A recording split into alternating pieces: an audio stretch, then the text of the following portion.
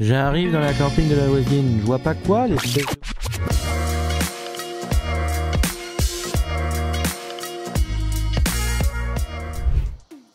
Lucien.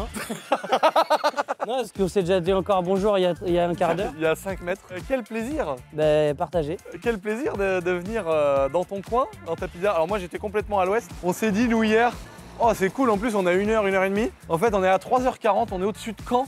C'est ça. On est, euh, Est-ce que c'est le côté des consanguins ou là c'est genre euh, en face des Anglais On n'est pas très loin. On est en face des Anglais plus que de chez les consanguins. Ça dépend d'où tu le vois. il a pris le bateau On est- En on a- voiture On a pris le bateau, mon gars. Le mec, en plus, on a failli, j'ai failli m'embrouiller avec lui. Le mec, il- je suis arrivé sur le bateau, il me fait comme ça. Tu sais, comme un gars qui avait un spasme, tu vois. Je vais tout droit, il me dit Je vous avais mis de vous mettre à droite. Je dis Non, tu, tu m'as rien dit, frère. Tu m'as fait. Alors après, j'ai dit Vas-y, on va pas s'embrouiller, frère. C'est un coup, je- il me jette à l'eau, laisse, laisse tomber. Alors, quel plaisir sur cette petite chaîne euh, secondaire de parler euh, business, de parler entrepreneuriat, mais aussi de parler de nos petites expériences, de nos, de nos retours, euh, de nos petits concours et de tout ce qu'on bidouille sur Internet. Donc en fait, toi, t'es l'heureux élu, Le bâtard t'es le petit bâtard, Le petit bâtard t'es le gagnant euh, d'un des, des premiers concours, le gagnant de la 1M. C'est ça. La, la- la magnifique, euh, ouais, la magnifique petite 1M euh, qu'on avait fait gagner. Qu'est-ce que ça te fait de l'avoir en vrai? Ah, ça. ah, méchant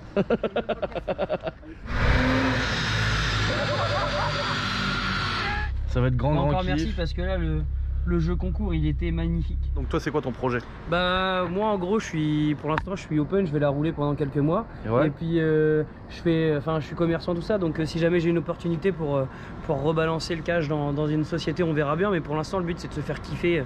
Voilà. Avant, avant trois mois, je me pose même pas la question. quoi. Ouais, voilà, En fait, il y a tout un délire autour de ça parce que toi, tu l'as, t'en as, t'as kiffé quelques mois. C'est ça. Pas mal quand même, hein De, de janvier, elle a été revendue euh, fin mai Ouais, donc, 2020 2021. donc voilà, t'as quand même kiffé, euh, mois, ouais. t'as kiffé quelques mois. C'est ça. Tu l'as revendu, ça t'a permis de faire des, des- des jolies choses. C'est ça. Franchement, c'est, c'est- Exactement. Je, je suis trop content pour toi. T'as fait des beaux trucs et moi, j'ai suivi un peu en off. Euh, donc, t'avais une pizzeria C'est ça, qui est juste ici. juste ici? Donc l'ancien local commercial euh, que mon, mon père avait euh, créé il y a une vingtaine d'années. Il y a 21 ans exactement. Et Donc, c'est ton père qui a créé la pizzeria qui est, ça. qui est- qui est juste ici. exactement. Il y a un lien, mais de toute façon, on, on voit que c'est un gars qui se lève tôt le matin. Donc, si tu veux, il s'en serait pas trop trop mal sorti quand même. Face à mes employés, ils diraient l'inverse. Euh, en gros, il y a un lien quand même avec la 1M parce que ça t'a permis, euh, ça t'a permis euh, d'acheter le local en face. C'est ça, On va exactement. montrer euh, juste après. C'est ça, on, on commence à sentir les trois à 70 mètres carrés à, à 7-8 personnes. Donc euh, on avait comme projet commun avec mon père de base de, de déplacer la pizzeria euh, dans le village mais à un autre endroit. Et bah, le local d'en face, en gros, c'est euh, mis en place. Donc là, tu as acheté le local d'en face, mais dans ton ancienne pizzeria, tu vas faire un burger. C'est ça, ouais, exactement. Incroyable. Et là, la machine à pain d'Amor. La machine à pizza La d'Amor. machine à pizza, ouais. Alors ça, mec, on- tu peux l'ouvrir Ouais. Parce que ça, genre, ça, c'est vraiment une science. euh, Tu sais, quand t'entends le bruit derrière, t'entends le, le four et tout. Je précise, je précise c'est normand. Ah, c'est fait en France Ça vient de Lisieux. C'est une entreprise qui a une quinzaine d'années. Excellent. D'ailleurs, si jamais vous voulez me sponsoriser à Dial, je suis chaud. non, mais attends. Et là, on est sur la truc de luxe, là. Euh, Là, on est sur un bébé euh, TTC aux alentours de 60 000 balles. euh. Alors maintenant, ça augmente avec les prix. hein. Tous les ans, ils se font des petits kiffs. Oh, mec, le... elle est immense, celle-là. C'est ça. J'en ai jamais vu une aussi grosse. Un peu moins de 5 mètres carrés au sol. Elle fait 2 mètres, euh, 2 mètres 20 sur 2 mètres 20. Oh, l'écran de la mort et tout. Donc là, c'est ta machine à pizza C'est ça. Ah ouais, caméra, toi, ouais, t'as vraiment un truc euh, de, de compète. Il y, a- y a- y a des chiffres que je connais pas. Combien ça contient de pizza Je vais te montrer ça juste derrière. Allez, vas-y. Allez. Ce qu'on se dit, est-ce que s'il y a une file de 20 personnes Ah, mais c'est une petite maison C'est. Alors, c'est ce que je dis, c'est mon petit studio. Quand je me fais engueuler par ma femme, je viens dormir ici. Mais non, excellent Ah ouais, c'est- t'as un petit, t'as un ordinateur C'est ça, j'ai un ordinateur tactile. Donc là, j'ai 70 places. D'accord. Je vais te montrer juste après ici. En fin de compte, c'est globalement c'est un module froid, donc euh, une chambre froide standard, avec une sorte d'ascenseur euh, avec des racks et euh, des pinces qui viennent récupérer la pizza et ainsi de suite. Ce qui est super important sur ce genre de machine, c'est qu'en fin de compte, il y a la DLC, donc le jour où elle sera périmée. Et dès que je rentre, il y a un scan qui se fait en infrarouge et qui dit cette pizza-là, elle a été rentrée à cette- heure-là. Dans deux jours ou dans trois jours, elle peut plus se vendre. Et du coup, je suis bloqué. Je peux plus. Il faut que je la retire, que je referme pour qu'elle se relance et ainsi de suite. Donc il y a vraiment tout un système euh, pour. euh, bah, en fait, c'est des denrées sensibles quand même. C'est de, Ouais, de l'alimentaire, donc on, on a des normes à respecter. Et euh, après, tout le schéma, en fait, euh, dès que la, la pizza bouge, elle est toujours fermée dans la boîte. Elle rentre dans le four, il y a un système qui vient les relever et ainsi de suite. Incroyable. Assez. Et là, là-dedans, c'est quoi? La. Et là-dedans, du coup, c'est la chambre froide où justement. euh, Ah ouais, On a, euh, d'accord. on a du coup les, les pizzas de rangée. Donc quand, euh, imaginons, tu as besoin d'aller chercher la 40, ça monte, ça s'arrête devant la 40. Il y a des pinces qui viennent récupérer, qui passent à cet endroit-là où il y a, Ah, dans la, fente. dans la petite fente Il y a une petite fente juste là. Et ça fait le passage. en Mais il fait. est où le four? Et le four, il est juste ici, donc je vais te le montrer aussi. Donc le four, il est juste là. Et en fin de compte, euh, ce- cette petite porte-là s'abaisse, fait rentrer la boîte à pizza ouverte, avec tout un système de crochets et ainsi de suite. Et après, en fait, quand elle ressort, elle ira aplatie, elle ressort sur la droite. Ah ouais, donc elle sort de la boîte et elle se remet dans la boîte. En fait, euh, c'est juste la boîte qui s'ouvre. La pizza reste dans la boîte, elle est légèrement surélevée par des plots. Pour s'approcher, parce que c'est un four à chaleur à air pulsé, s'approcher en fait de l'hélice? Non, ça doit être un truc super spécifique parce que ça chauffe trop vite quoi. Bah en fait, il faut absolument. Nous, elles seront déjà pré-cuites les pizzas. Euh, le principal, c'est de les, les réchauffer. Du coup, on la chauffe à 220, 225. Avec la norme énergétique actuelle, je peux te dire que ça me coûte bonbon. Oh putain. Parce que euh, heureusement qu'on a réussi à se placer sur le bouclier tarifaire, parce que sinon c'est une horreur. Ah. On passait en moyenne à peu près 150, 160 balles par mois. Euh, Il y en a un où je suis passé à 400 balles le mois. Ah, est-ce que plusieurs. euh, J'ai- euh, Je viens de poser le septième là. Ah ouais, Le, fait- le septième truc le à pizza septième distributeur, Oh là là, ouais. T'es trop chaud frère. Partout dans, dans ton village quoi. On a une. Non, vraiment dans les villages aux alentours, dans les. On va dire un petit peu dans les, dans les endroits où, où on est un peu dans un désert. euh, dans un désert où il n'y a ni supermarché, ni boulangerie ou quoi que ce soit. On a essayé de se mettre sur à peu près 20-25 km carrés euh, dans les alentours. Ah ouais, 7, trucs quoi. Mais ça doit être un taf de fou d'aller les Bah, remplir à chaque fois. réapprovisionne tous les jours. euh, j'ai deux endroits, enfin trois endroits où on fait des pizzas. On a une deuxième pizzeria qui est à un, à un petit 20 minutes d'ici, où elle a son propre distributeur intégré dans la façade de, de la pizzeria. Et en fin de compte, elle, elle fait le sien. Ici, on en fait deux.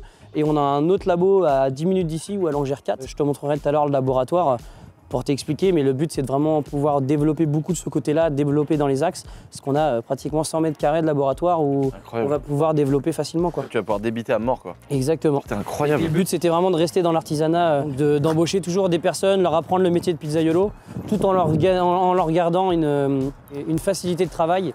Euh, tu vas voir, j'ai des diviseuses bouleuses, ce genre de choses. Oui, euh, tu m'as tu m'as envoyé la vidéo. c'est ça. Il met la patte dans le truc, ça fait brrr et ça sort plein de petites boules. C'est ça, exactement. Et ça, c'est c'est tout bête, mais ça évite les tendinites. Parce que euh, quand tu fais entre 70 et 90 kilos par, par jour de pâte, t'es content que tes employés ils soient pas comme ça tous les Ah jours ouais, avec les bras, clair. Bah non, mais les ça, bras c'est en clair. quoi. Ah, c'est clair, puis même un gain de temps, j'imagine. C'est ça, exactement. Euh, le projet, il s'est fait en même temps un peu que, le- que, quand t'as gagné la voiture? J'ai, tu m'as appelé le 26 décembre et le 15 décembre, je venais de signer le compromis de vente pour le nouveau local. Et euh, bah, ça est bien tombé, quoi. Et puis on va aller voir ça tout de suite. Donc là, c'était la- c'était le, le début. C'est ça. Maintenant, c'est juste là-bas.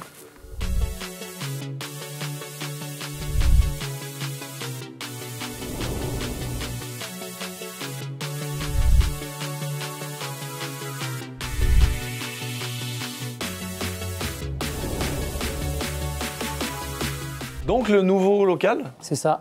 La nouvelle pizzeria. la nouvelle pizzeria. Alors attention, là il a mis le paquet. J'ai eu la chance de voir, euh, de voir les travaux, les avancées. En tout cas, euh, il y a du goût. hein. Le plafond noir. Alors je connaissais pas parce que chez Shiftech, nous on a fait ce plafond-là, mais avec les baguettes noires. Ouais. Chez mon, dans, mon, dans mon côté à moi, on a fait plafond blanc moche. Je sais pas pourquoi on a fait ça d'ailleurs. Mais là, le plafond noir avec les, les emboîtements en blanc, ça tue. Ouais, c'est sympa. ouais. Ah ouais, c'est très sympa. Et tu sais pourquoi j'ai fait ça? Non Parce que je suis un gros radin. Ils étaient déjà là, les baguettes blanches.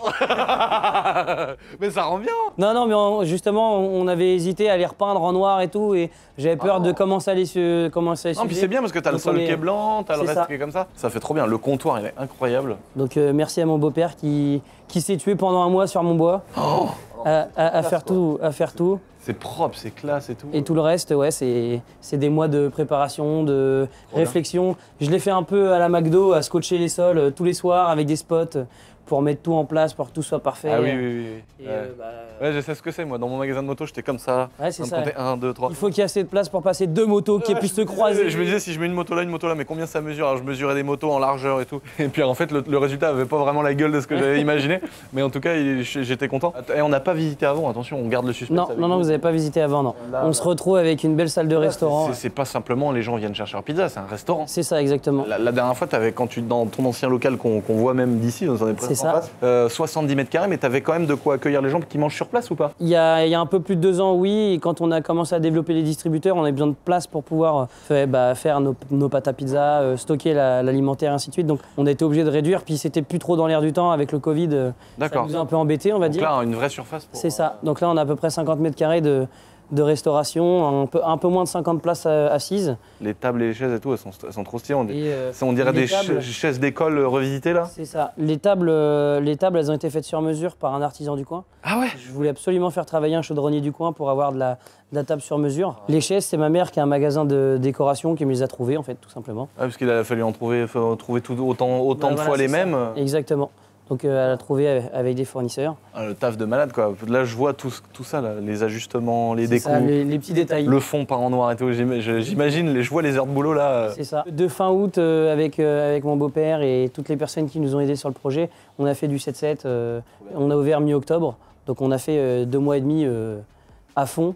Vous avez mis du cœur à l'ouvrage. C'est ça, exactement.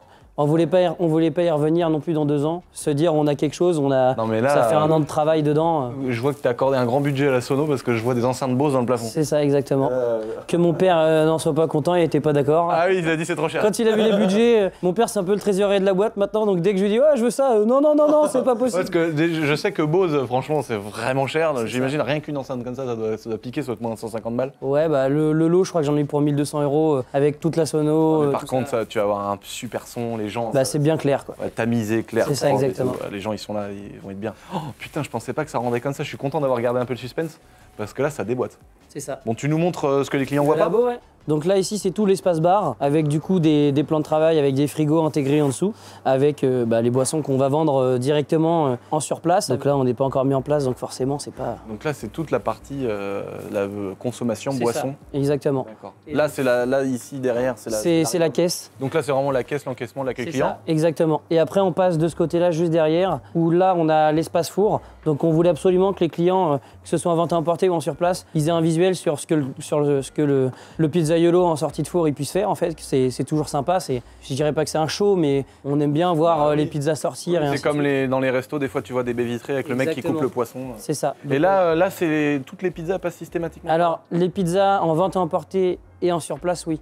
Tout ce qui va être distributeur. Et là, euh, ce soir, on, on relance notre service livraison. Je vais te montrer, c'est des plus petits fours qui sont des fours tunnels qui nous permettent de gagner du temps en fait au niveau de la rapidité. Oui, parce que dans ce labo-là qui est juste derrière qu'on va aller voir, c'est là aussi où sont préparées toutes les pizzas. Des... De distributeurs. De combien de distributeurs? Là, il y en a deux, mais le but, c'est de pouvoir développer à fur et à mesure. Les autres sont développés par d'autres endroits, parce qu'on essaye de ne pas partir trop loin non plus euh, pour, euh, pour nos secteurs et ainsi de suite.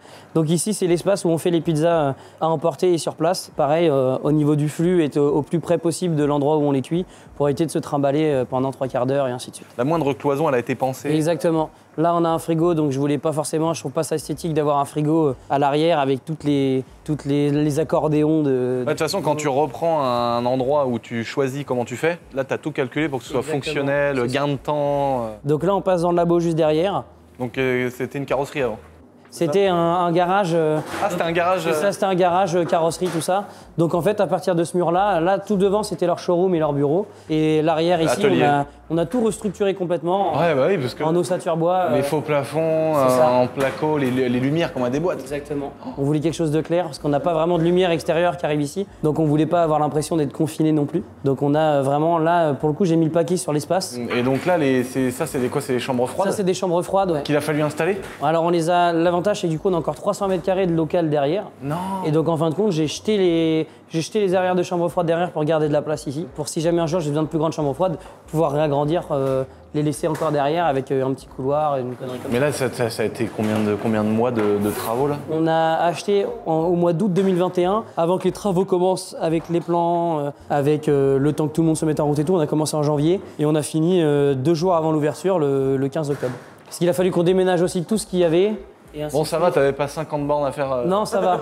Mais bon, mes employés en soient témoins, on a joué du transpalette. Ah ouais, ouais, trans- ouais, mais bon, le transpalette, t'avais pas à le décharger dans un camion. Ça. Oh là là, les portes de ouf Euh, quoi. En fait, on a, on a trois chambres froides. Là, la chambre froide, c'est celle où on arrive et on stocke tout emballé. D'accord. Et au niveau des normes alimentaires, en fait, il vaut mieux éviter de, de garder des emballages avec des produits ouverts à côté. et ainsi de Ah oui, j'imagine. Donc, on garde tous les produits emballés et la livraison se fait juste derrière, donc euh, on vient jamais embêter personne. Ici, j'ai tout mon surgelé où ça va être euh, tout ce qui est. euh, tout ce qui est glace, euh, ce genre de choses. Les petits mozzastiques, euh, deux, trois, deux, trois conneries comme ça. Putain, mais ah oui, ouais, t'as ouais, vraiment tout pensé au ça. millimètre, c'est trop bien. Les prises au, aux bons endroits et tout. La classe. Et, euh, et à la fin, on a celle-ci où du coup, il n'y a pas grand-chose vu qu'on est en début de semaine. Là, on s'est tapé un petit délire, on a fait des galettes des rois pour la galette des rois, tout ça. Excellent. Où là, du coup, c'est plus tout ce qui est prêt à, à partir ou ce qui va servir à la cuisine. À chaque fois, quand je vois une chambre froide comme ça, je pense au, à Philippe Etchebest qui arrive dans des restos, des fois où il y a des cafards qui traînent Ouais, là-dedans, c'est ça, ouais. des trucs qu'on coulé sur un autre truc. Euh, non, là, on les a mangés juste avant que tu arrives. on voulait pas. euh, Toi, ça doit, te- ça doit te traumatiser quand tu vois des trucs comme ça. Parce que nous, en fait, on se Bah, rend en pas fait, trop compte, mais. euh, On, se dit merde, euh, ça donne pas une bonne image de la cuisine, mais en même temps, quand il y a le retour derrière, on est content que le restaurateur soit remis entre guillemets Ouais. dans, dans l'axe de ce qu'il a besoin voit des trucs quoi. des fois, mon gars, c'est horrible quoi, niveau hygiène. Bah, puis c'est qu'il faut se dire en plus de ça, euh, avant qu'une friteuse euh, devienne crade, c'est pas euh, trois semaines de non nettoyage. Euh, nous, ça peut nous arriver que des fois, pendant une semaine, on soit un petit peu embêté, on puisse pas nettoyer l'extérieur, on vidange les- la friture intérieure, mais on peut pas se permettre de tout le temps en permanence Bah oui. ou tous les jours. Là, Tu vas pouvoir filmer la cuisine, elle est nettoyée régulièrement. mais là, on a l'impression que vous travaillez pas ici quoi. Tellement c'est propre. Exactement, et c'est c'est le but en fait de base quoi.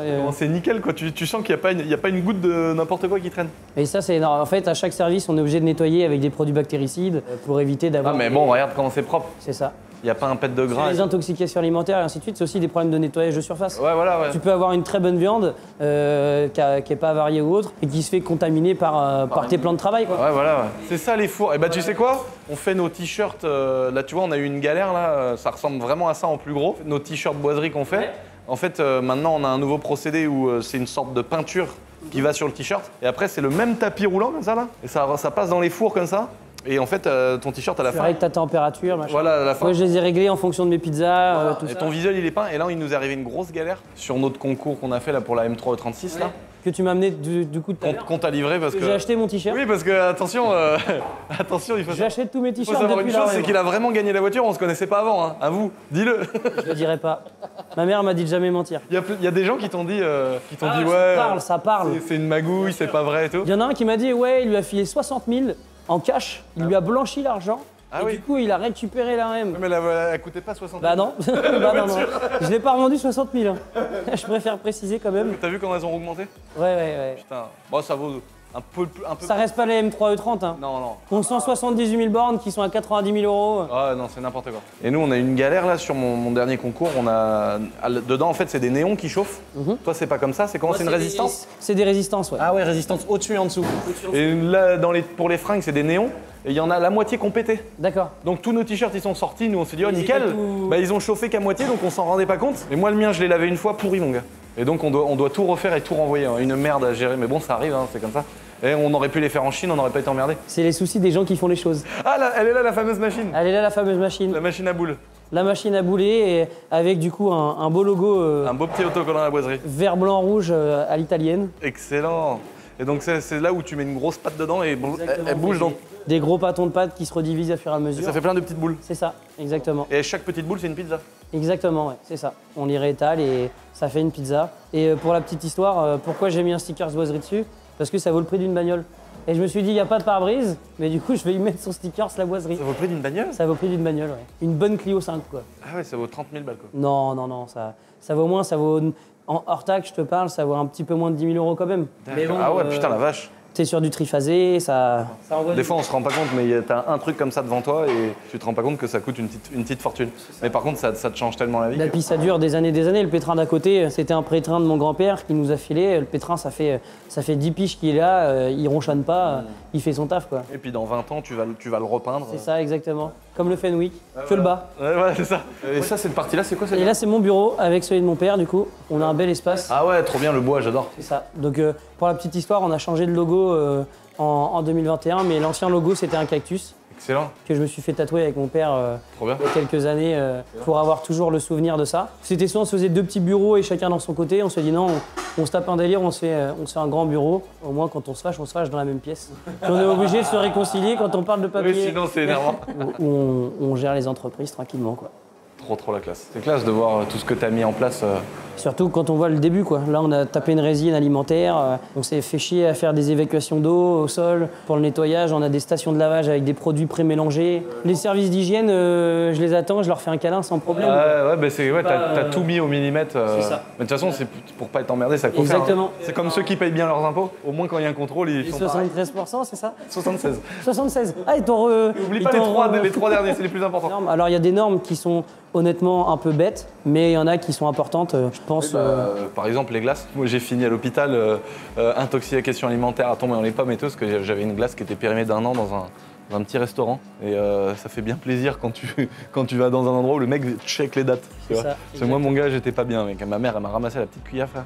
J'étais tombé dans les. En fait, quand, quand je me suis mis à vomir, je suis tombé dans les pommes, je me suis tapé la tête dans ma baignoire. Je suis retrouvé comme ça, ma mère, elle m'a récupéré, gros, elle m'a traîné par les pieds et tout. Oh.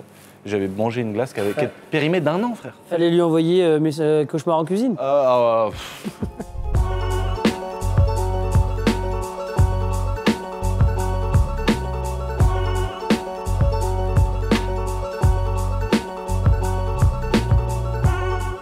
Bon alors euh, explique-nous, euh, parce que moi j'ai mis un titre un petit, un, un petit peu putaclic. Je reviens de cauchemar en cuisine.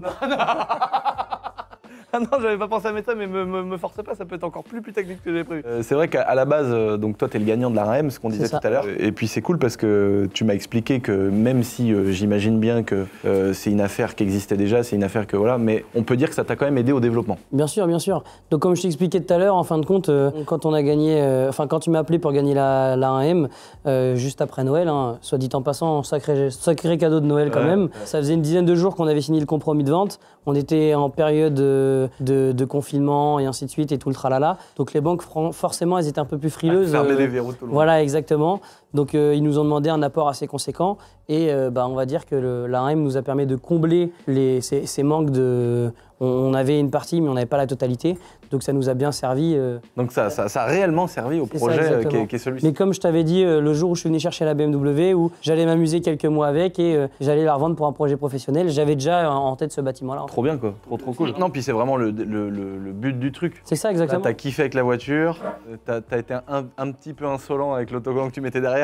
T'avais mis un énorme autocollant, euh, elle m'a coûté 43 euros. C'est ça. Je, je revenais avec un sac action, je le mettais dans le coffre, dans, dans la malle, puis je refermais le coffre, je disais ouais. Heureusement, on l'a pas Non, mais t'as kiffé avec cette voiture-là. J'ai j'ai grave kiffé, ouais. On a pris des bonnes vitesses de croisière. le problème, c'est qu'on peut lâcher les mains à des vitesses Ouais. astronomiques. Non, c'est euh, une super caisse. hein. Bah, c'est vraiment une, une 335, parce que c'est le moteur de la 335 N54 C'est ça. qu'il y avait dedans. le Et fameux N54. Le fameux N54 de la mort, euh, mais bon, qui avait, qui avait pas de kilomètres. Donc euh, non, ça, c'est ça, ça ouais. enlève Quatre- beaucoup Elle de avait problèmes. 80, 82 ou 83 000, Ah, la quelque chose dans le 80 000, genre. un truc comme ça, donc elle était toute neuve, quoi. Et t'as as le châssis M, les freins M, donc c'est- vrai que ça faisait. euh, C'était un beau, ça. un Elle beau avait petit la demi-ligne, euh, Voilà. elle avait le petit stagiaire. Elle avait l'ESP C'est ça.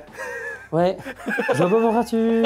Pourquoi tu rigoles Est-ce que tu nous avouerais pas une anecdote? Ah, on peut avouer. Oui, Euh, une belle De toute anecdote. façon, il y a procuration. euh, Il y a, pro- Il y a, prescription. il y a prescription. Il y a prescription. On va dire qu'un qu'un jour euh, d'ensoleillement euh, absent, on a fait un peu les cons et on a légèrement rayé la carrosserie. Mais très légèrement, quoi. Et je, et je t'avais dit quoi quand t'es venu à chercher? Je t'ai dit surtout, sois sûr le jour où t'enlèves le SP. Fais gaffe, euh, le SP, déconnecte-le vraiment, vraiment quand tu l'as en main, quand t'es habitué. Parce que là, 4-5 ans, quoi. parce que Alors, Brice, Brice, qui est derrière moi, en sera témoin, il était avec moi dans la voiture. Honnêtement, au moment où la voiture s'est jetée, jetée mon volant était droit. hein. Elle s'est jetée toute seule. quoi. Ah, bah, Brice? Voilà, il a dit ouais. Elle s'est jetée toute seule. Non, oui, parce mais que je si lui ai- t'avais pas je lui ai dit que s'il disait autre chose, il serait viré. Alors, euh, Le il bouton, fait E- attention. oui mais le bouton ESP fallait peut-être faire, fallait peut-être pas y toucher. fallait peut-être essayer de le laisser. Non, en euh, gros, en gros, pour vous expliquer l'anecdote, t'avais, t'avais, t'avais- perdu un petit peu le cul. C'est ça. euh, t'avais rayé un peu la caisse. Bon, on était très loin d'une voiture épave. L'aile avant et arrière qu'on qu'on pris un petit peu. Oui, et bon, t'as euh, frotté un petit platane, quoi. Voilà. Voilà, rien de non, un, une- un rail de sécurité. Ah ouais, bon. Mais bon, on était à 35-40 quoi. Oui, oui, non, mais, de oui, rond-point, oui, mais c'est vrai. Mais, ça à la, à Jackie quoi, clairement. voilà, ouais. euh, faut dire ce qu'il est, hein, c'est c'est l'erreur Le de. mec qui déconnecte le SP, il part, il, la voiture, il la jette. Exactement. Mais le en troisième euh, sur le couple, Bah tranquillement oui. quoi. C'est-à-dire qu'à à vouloir faire le con d'un sens. Euh, c'est le pont autobloquant et un peu et la puissance quoi. C'est ça. Et puis euh, il faisait moins 7 degrés dehors. Ah oui, bon bah t'as Donc tout euh, aligné. quelle toi. erreur de Et merde. le SP quoi. C'est ça, quoi. Une belle petite anecdote les amis, et ça. là ça, ça va ressortir sur Mais les bon, ça a été- euh, de boiserie, C'est ça. euh, YouTube, partout. Et je tu leur vas avais voir mis une partout. archi de boiserie avant de la gagner, que je la mettrais. J'ai pris une, une RM complètement euh, écrabouillée et tout. Mais comment ça a commencé tout ça? Tu nous as expliqué que c'était une histoire familiale C'est ça. Et que et que c'est parti euh, c'est parti donc euh, tu disais qu'il y De avait mon un- grand-père, ouais. de ton grand-père, il y avait des, des petites photos dans le restaurant. Ça. On, on vous laissera venir les voir, ce sera mieux pour découvrir ça. ça, Pour, euh, pour dégrossir au maximum, parce que je pourrais te, te déblatérer pendant une demi-heure l'histoire euh, de la pizza dans ma famille, mais on va essayer de faire au plus court. Mon grand-père, il y a une trentaine d'années, euh, il habitait à une petite demi-heure d'ici et il avait acheté un HY. Je pense que ça te parle, hein, ouais, ouais. Il n'y avait pas de moteur de camion dedans par contre. C'était euh, pour faire de la pizza et à fur et à mesure des, des mois et des mois qui tournaient dans les alentours, il s'est posé à une dizaine de kilomètres d'ici et il s'est rendu compte qu'il y avait une demande euh, assez conséquente. Donc il a trouvé un local, il a monté un restaurant pour euh, les personnes des alentours, ça s'appelait l'Etna, euh, en référence au, au volcan italien euh, de l'Etna, tout ça. Et- Oui, vous êtes une famille italienne, bah alors pas spécialement, mon grand-père de base est manouche, d'accord donc euh, il a vécu en roulotte toute sa jeunesse et ainsi de suite. Au cul du HY. Et euh, je suis même pas c'était plus des roulottes. C'était plus des roulottes. Je pense que le HY à l'époque C'est vrai qu'à l'époque, les roulettes, elles bougeaient pas. Exactement. Donc euh, c'est ça. il- C'était une famille de manouches. euh, son père était chiffonnier. euh, Enfin vraiment euh, dans le pur et dur tradition La bonne des époque manouches. qu'on n'a pas connue. Exactement, que je n'ai pas connu non plus du coup. Et euh, en fin de compte, il a trouvé un local commercial, il a monté euh, son son restaurant pizzeria, ainsi de suite. Euh, ma mère, qui est sa fille, euh, un, un jour, euh, en sortant avec son frère, s'est rendu compte, alors en sortant en soirée, Oui, en faisant une soirée. oui, voilà, en faisant une soirée, Oui. a rencontré On mon est père. en haut de la France, mais pas Ouais, assez non, mais calmons-nous, calmons-nous. Mon père, mon père et ma mère se sont rencontrés et bah, du coup ont commencé leur histoire d'amour, entre guillemets. Et euh, quand mon père est revenu euh, de, de travail sur Paris, il a été embauché par mon grand-père et de là, euh, ça, ça s'est mis en place. Mon père a trouvé un local commercial dans la commune que tu as vu du coup, euh, Donc, c'est Dans- donc dans ton ancien local. dans l'ancien local. On a commencé en 2001, euh, en avril 2001. Il avait acheté la maison et ainsi de suite. Ah, la maison derrière C'est ça. Donc moi, en fin de compte, j'avais euh, j'avais un an et demi quand on est arrivé euh, dans la commune et on s'est retrouvé euh, bah, avec une porte qui amène directement dans une pizzeria. Quoi. Donc euh, j'ai passé toute mon grandi- enfance t'es grandi euh, là-dedans, ouais. avec les clients. euh, Donc, le métier, tu connaissais tout bah, en métier. fin de quoi. compte, je l'ai- c'était, je savais pas ce que je voulais spécialement faire euh, à l'époque de mes études et ainsi de suite. Mais euh, bah, forcément, euh, il y a des facilités qui se créent en, Bah oui. en vivant dans un commerce. euh. C'est-à-dire qu'à 19h, j'avais fini de manger, j'ouvrais la porte, euh, j'allais faire mon kiff, euh, parler avec les clients, euh, aider un peu, couper des tomates, euh, des conneries comme ça quand j'étais minot. Quoi. Les punitions à plier des boîtes à pizza parce que j'avais fait des conneries, euh, des trucs comme ça. quoi. Et donc, après, tu as repris euh, le flambeau de, ce premier local. C'est ça, je me suis associé avec mon père et euh, là depuis à peu près deux ans il me laisse, un peu, il me laisse euh, du lest pour bah, lui profiter un peu de sa, de sa tranquillité je dirais. Et Il- pour qu'après, ce soit toi qui gères tout C'est à 100%. ça exactement. Bah, en fait je suis déjà actuellement ma- ma- majoritairement acteur dans l'entreprise mais euh, j'aime bien avoir toujours bah, aussi sa sagesse pour euh, Ouais. savoir à, à ce que c'est intéressant. Le recul. Exactement. Je pense que c'est important. Après, euh, Surtout, moi, je- que, surtout que l'histoire de famille, au départ, euh, si je me trompe pas, c'est- c'était une pizzeria. c'est ça Là, exactement. et là, tu m'as expliqué que tu avais 7, euh, Sept distributeurs sept et deux pizzerias. distributeurs, ouais. Deux pizzerias, Et il y a un labo supplémentaire. euh, pour, un labo euh, supplémentaire. les- Là, le local qui est juste là, qui va devenir peut-être plus tard un burger. C'est ça exactement. oui. Donc, euh, c'est On développe bien, ouais. C'est différent de gérer un établissement Mhm. que de commencer à gérer quatre trucs où il y a Exactement. du monde, Et, des choses à gérer, et des il faut problèmes. avoir un moteur pour faire tourner tout bah ça. quoi. Donc là, en fait, c'est pour ça l'avantage que ton père reste avec toi, c'est que je pense euh, t- dans le côté entrepreneurial de la chose, c'est que là, t'es plus simplement pizzaiolo, t'es celui qui va gest- être gestionnaire d'entreprise, gérer des trésoreries, gérer de la fiscalité, C'est ça. euh, gérer la euh, fiscalité qui est très intéressante, euh, soit dit en passant, hein, c'est important de, de voir aussi la rentabilité d'une entreprise sur la fiscalité, parce qu'il y en a beaucoup qui se lancent et euh, une pizzeria, ça marche bien. bah, ça, Si tu fait, peux, si tu peux en, en développer plein, c'est que tu as réussi à te démarquer des autres. Mais, bah, mais est-ce que déjà de euh, base, tu as, une marge qui est plutôt intéressante sur une pizza euh, pour les gens peut-être qui voudraient se lancer ou qui Pour, connaissent euh, pas le métier? Pour donner un ordre d'idée, sur une pizzeria, je vais parler de, de marge normale et je vais t'expliquer mes marges en moyenne pour que tu comprennes aussi un petit peu. Les marges normales, c'est entre 70 et 75 brut. Euh, nous, on tourne aux alentours des 60 parce qu'en fin de compte, on a fait le choix de charger nos pizzas Ouais. avec des pizzas qui soient très très généreuses. On est en Normandie, en Seine-Maritime, où les gens ils aiment bien avoir à manger sur ce qu'ils Ouais, une prennent, bonne pizza. euh, quitte à euh, pas la finir et en manger le lendemain en fin de compte. Ouais. Et c'est là-dessus que nous, de notre côté, on a, on a créé notre, euh, je dirais pas notre modèle économique, mais plutôt notre image de marque. Que économiquement parlant, c'est intéressant, mais on a pu du coup vendre beaucoup à beaucoup Ouais, plus et de puis monde. avoir une clientèle qui revient. Exactement, une clientèle assez fidèle depuis plus d'une vingtaine d'années, donc euh, c'est qu'on Voilà. on, on- Alors, on a euh, suivi ce qu'on voulait quoi. Je fais juste un petit euh, disclaimer, même si j'ai pas, j'aime pas dire des mots en anglais comme ça. Quand il parle de 70% de marge, il y a peut-être des gens qui connaissent pas, qui se rendent pas compte et qui vont se dire mais c'est énorme le salopard. Ça. Ça, 70% de marge, en fait là-dedans il faut prendre, il faut prendre les impôts, il faut prendre. Donc tu as parlé hors taxe donc il n'y a pas de TVA, mais tu as déjà retiré la TVA. Euh, il faut penser à la charge salariale, parce que quand tu payes quelqu'un, après il faut payer la même chose à l'État. C'est ça. Il faut penser aux- dans aux- les locaux, les assurances des locaux, les impôts des locaux, rembourser les locaux, L'électricité, l'électricité, la flotte, la, la taxe foncière. Enfin bon, c'est conséquent. En plus de la matière première, c'est-à-dire la pâte à pizza, les tomates, En plus des amortissements, les- euh, euh, les amortissements. des matériaux et ainsi de suite. les travaux, les chambres froides, les voitures. Enfin bon, il y a, y y y tout un truc énorme qui fait que les 70%, c'est obligatoire. Quoi. En sachant aussi que depuis, euh, depuis 1er janvier 2022, on prend d'énormes hausses de, de matières premières. Ah bah oui. J'ai ma mozzarella, euh, on utilise la même mozzarella depuis une vingtaine d'années parce qu'on on est satisfait de la qualité, qui a doublé de prix en, l'espace d'un an. Le bœuf, euh, n'en parlons pas. Le magret de canard, euh, pendant six mois, on n'a pas pu en avoir. Enfin, ça a été un, un grand bordel. T'as fait un peu de bois ici, vu, le- t'as vu le prix du bois? Exactement. Et en fin de compte, il faut se dire que dans, les... dans tous les corps de métier, en fin de compte, on a eu des augmentations. Mmh. Sauf que le problème qu'il y a, c'est qu'on nous vend euh, des baisses de prix derrière, mais sur des augmentations qui ont été créées. Donc en fin de compte, les augmentations, on les a et on en prendra. Puis c'est compliqué pour toi de vendre une ça. pizza 70 balles. Quoi. Et puis on a été obligé, nous de notre côté, en fait, j'ai attendu euh, jusqu'à la fin d'année avant d'augmenter mes prix, parce que je pensais, on- on- avec mon père, on ne pensait pas que ça allait rester en fait ce, ce genre de, Ouais. de hausse de prix, et on a passé, on, on a réaugmenté nos prix euh, pour pouvoir euh, Bah rester oui, dans une à ligne. un moment euh, donné, il y a du monde à payer. bah voilà, exactement, et on a été obligé de les augmenter, euh, je dirais de 10 à 15% en moyenne, quoi. Et bah c'est jamais plaisant d'augmenter ses prix. Moi, si je pouvais euh, être millionnaire et vendre des pizzas à 7 euros euh, avec la même qualité qu'on a aujourd'hui, je le ferais tous les jours, quoi. Bah oui. Et bah malheureusement. Bah, si tu gagnes de l'argent avec ça, oui. C'est euh, ça, voilà, exactement. Donc euh, là, on, on fait en sorte de, de mélanger euh, le prix, la qualité. On travaille avec des viandes françaises, euh, les produits locaux. On a les pommes de terre qui viennent. euh, Bah, De toute façon, on voit, on voit bah, qu'il y, y a un attachement au projet et que c'est pas faire une pizzeria pour faire de l'argent, c'est une pizzeria pour vivre. Mais Bah, c'est les deux, pour quoi. se Faut- développer, faut- faut faire de pas l'argent. faut pas se mais mentir non plus, mais voilà, c'est ça, Je veux dire, il y a exactement. vrai- le- le- le- Ah bah le, le- le- le moteur premier, c'est ça. voilà, ouais. Le départ du truc, on voit que c'est un- une histoire familiale et puis que t'as as kiffé ça. quoi. C'est ça, le moteur premier, c'est vraiment faire plaisir aux gens, ils viennent manger sur place. Le restaurant, il est même pas voué être rentable de base, c'est vraiment avoir un endroit où les gens ils se restaurent, ils se font kiffer, ils viennent en famille, entre amis, entre collègues. Et euh, s'il est rentable, tant mieux. S'il paye juste ce qu'il a besoin de payer, euh, moi, ce qui m'étonne, c'est par exemple, euh, là, je savais pas que ça coûtait aussi cher une machine à pizza, tu disais dans les 50, 60 000 euros. Mais comment c'est possible quand tu vois le, le- le prix que ça coûte une pizza dans un distributeur? Est-ce qu'elle est vraiment deux fois plus chère? Est-ce qu'elle est une fois et demie plus chère? Une pizza à 10 balles dans, Mhm. dans- ici, elle est pas à 20 balles dans le. Non, non, c'est pas on deux est- fois plus on, cher. est- on a exactement les mêmes prix entre la, la machine à pizza et, euh, et euh, les pizzerias en, en vente emportée. On, on est sur les mêmes bases de prix.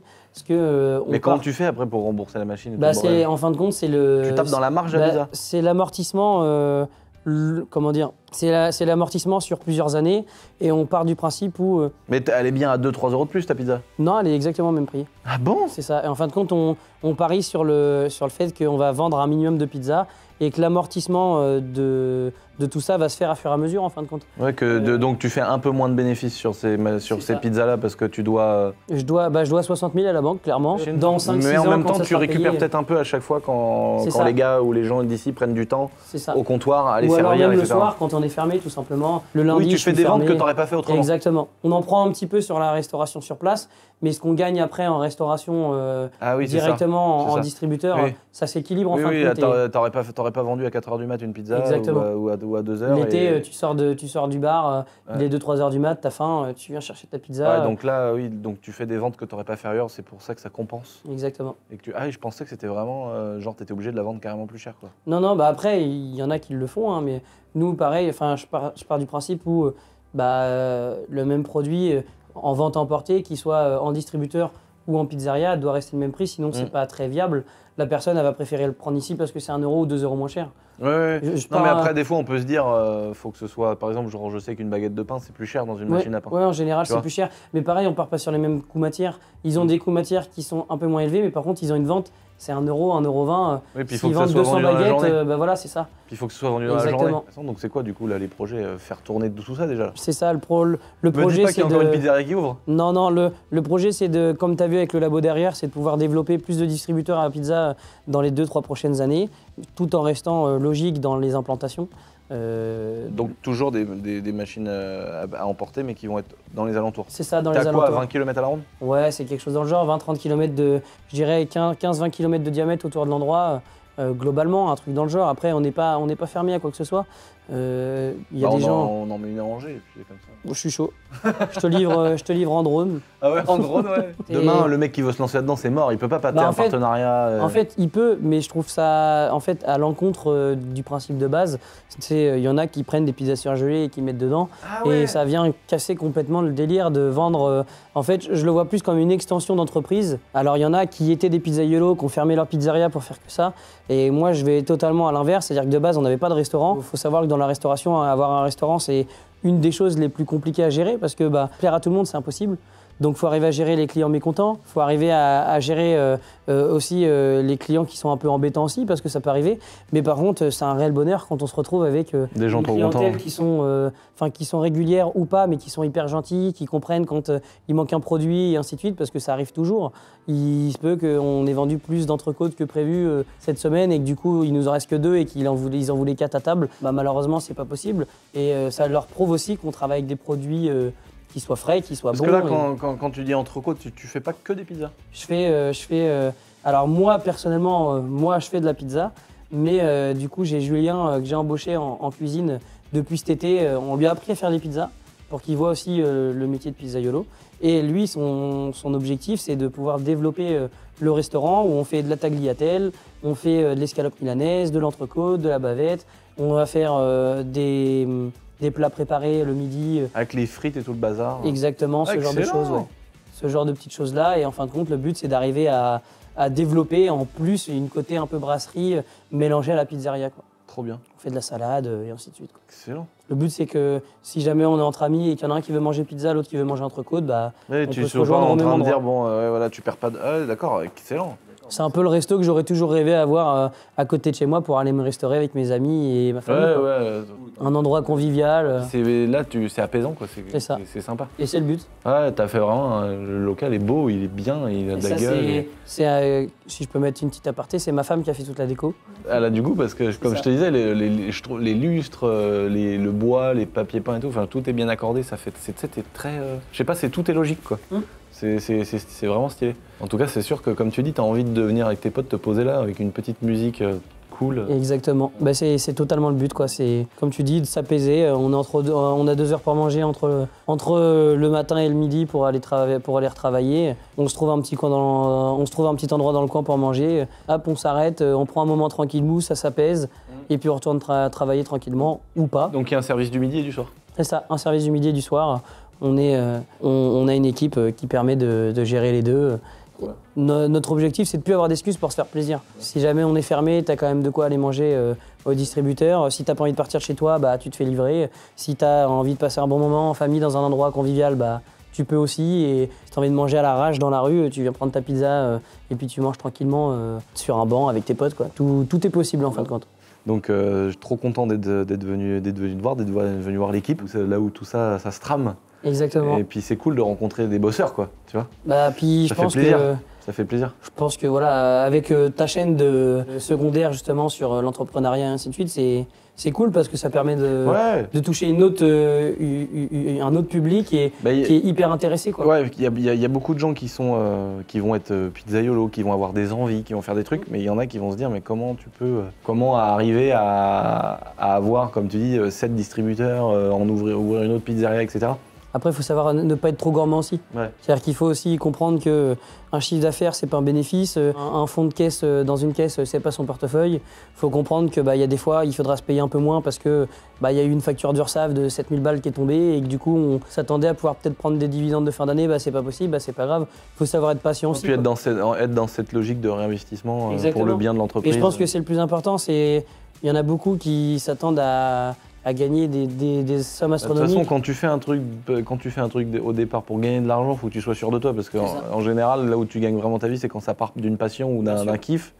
Après, ou après, faut vraiment bien savoir ce qu'on fait. Et puis savoir ce qu'on fait euh, quand on est jeune ou autre. ou alors, faut euh, déjà avoir gagné de l'argent ailleurs. Aussi. Un peu bah, comme euh, t'expliquais Médéric avant Shiftech, ainsi Voilà, de suite. exactement. D'avoir une base d'entreprise qui permet Voilà, de, de commencer à financer des projets. Mm. Bah, moi, cette entreprise-là, c'est un peu le même principe, c'est d'arriver à la faire tourner correctement de manière à avoir des, des fonds qui me permettent de développer d'autres choses à côté. J'essaie de faire un peu d'immobilier, de créer d'autres entreprises autour. Enfin, j'ai plein de projets, euh, comme je te disais, j'ai un grand local derrière où on a plein de projets qui vont arriver dans les prochaines années. Bah, c'est le but de pouvoir se baser sur, euh, enfin, d'avoir une sorte de, de marchepied qui nous permette euh, à chaque fois de monter une marche supplémentaire euh, à fur et à mesure des années, quoi, tout simplement.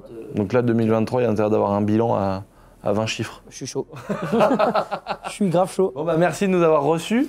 Merci de nous avoir expliqué euh, l'histoire. Euh, peut-être que peut-être qu'on se reverra pour la chaîne principale. Ouais, bah, avec plaisir. Que tu m'apprennes à faire une pizza. Chaud. Et puis, euh, et puis euh, qu'on aille la livrer euh, en lambeaux s'il le faut. Brûler la gomme. Brûler la gomme avec la pizza qui arrivera repliée sur elle-même. Mais ce sera une calzone. Ça sera Tu une fais des calzone. calzones? Je fais des calzones. Ah, c'est trop bon ces calzones. C'est bon. Bon, n'oubliez pas de vous abonner, les amis, très important. On vous met dans la description l'Instagram, le lien, l'adresse, Ouais, que les gens puissent venir se restaurer exactement. et kiffer une bonne petite pizza. Euh, N'oubliez pas de vous abonner, très important, la petite cloche des notifications si vous voulez voir les autres vidéos.